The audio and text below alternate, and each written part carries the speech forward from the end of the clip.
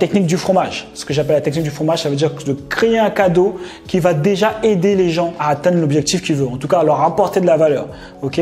Donc c'est vraiment quelque chose de sérieux, tu vois? Moi, par exemple, euh, la technique du fromage, c'est quoi? Bah, C'est la formation offerte et épinglée dans les commentaires ou la masterclass pour les coachs consultants qui est juste dans la, description. Ok? Donc ça, c'est ça le, petit bout de fromage. Pourquoi j'appelle ça le petit bout de fromage? C'est comme quand tu vas à Carrefour, on donne toujours un petit morceau de fromage. On dit ouais, tu veux pas goûter le petit morceau de fromage? Vas-y, vas-y, viens. C'est le petit morceau de Après, au début, toi, base, tu voulais pas chez le fromage. Mais tac, tu comptes comme ça. Tu, enfin, tu prends, tu, tu goûtes.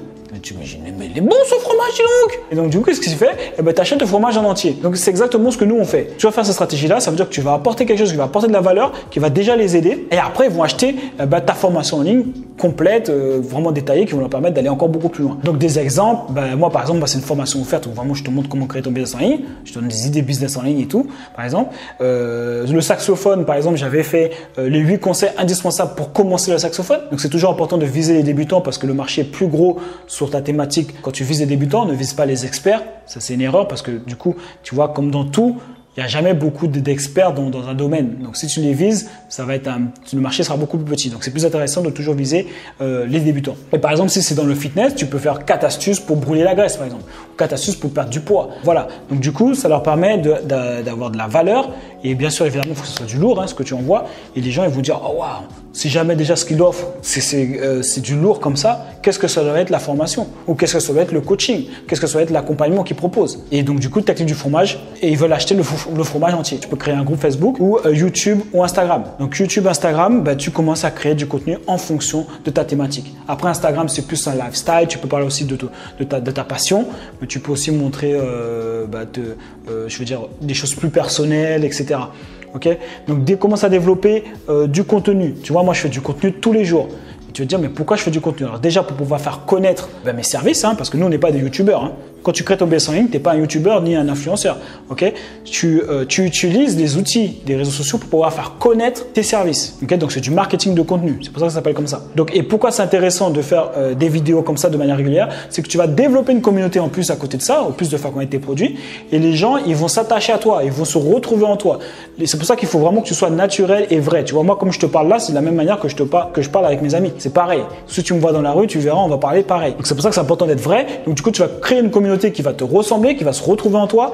Et euh, qu'est-ce qui va se passer? C'est qu'à force de te voir, ben, vous croient même que tu es un ami. Moi, des fois, je vois des gens, euh, des, gens qui sont abonnés, ils me disent euh, J'ai l'impression de te connaître. Bah oui, parce qu'en fait, ils me voient tout le temps. Et quand tu as l'impression de connaître quelqu'un, bah, ça crée une relation de confiance.